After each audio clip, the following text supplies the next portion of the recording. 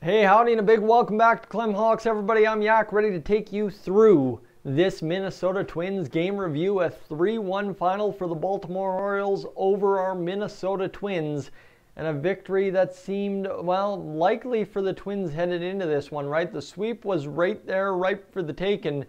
And the Twins got good starting pitching all the way into the fifth inning. The Baltimore Orioles got it a little bit longer, and that was the difference in this ball game. Uh, that's really all there is to say about it. It's Wells who outduels Smeltzer, and that's about it for this one. The Twins, again, as they always do when they have a low-scoring game, just fail to get guys on base and be productive. Right? They got a couple guys on late a couple of times and just couldn't really cash them and that is large in part to just not doing productive things with their at bats today. We'll break it down right now. A 3 1, as I said, final for the Baltimore Orioles, and you see how this one ends up going on the box score as really it was just an ugly go for the Minnesota Twins who struck out nine times in the ball game, so a strikeout per inning. But just when you didn't need them, that's when the strikeouts came. Akin and Krehbiel, the situational holding relievers for the Baltimore Orioles today, got the job done. They didn't strike anyone out, but they've been solid so far for the Orioles, and they're a reason why this game ends up 3 1. Right? Yes, indeed, it's Wells, the starter, who goes six, gives up three hits and a run, a walk, and a seven strikeouts, and the only run of the ball game. But it's Tate who comes out of the bullpen, gets the save, two strikeouts, and between those two guys, you get nine strikeouts in a span of seven innings, and that really is shuts down the productive time for the Minnesota Twins.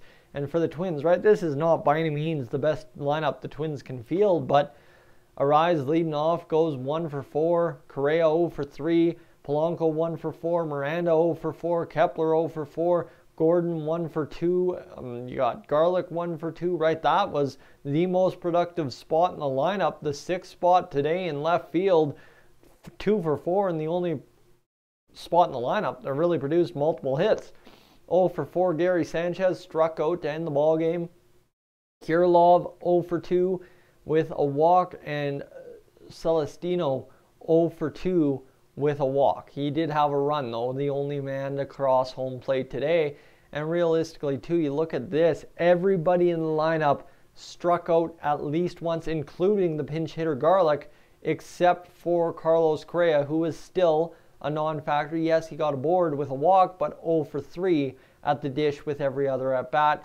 That said, Devin Smeltzer today, six hits, three earned runs against, one walk, and three strikeouts in six innings pitched. And what hurt him? Three home runs against, one in the fifth and two in the sixth. And again, you can maybe argue that Rocco Baldelli, yeah, you know what, he gave up one homer in the fifth.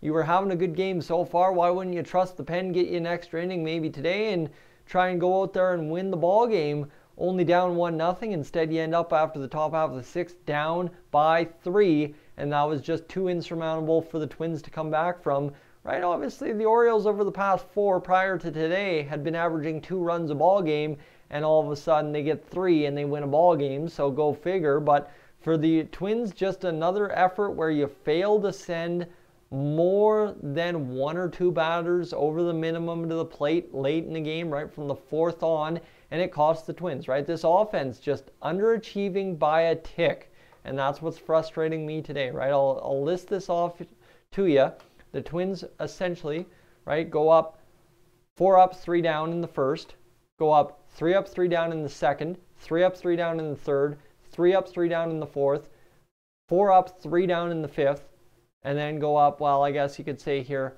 five up, three down in the sixth. So one of their best innings of the game, obviously, where the run came from. Polanco singling to right, getting Celestino home, and then they go up in this situation where it goes one, two, three, four, five batters. So yeah, you know what? That's again the bottom of the seventh inning where you would have loved to have some runs.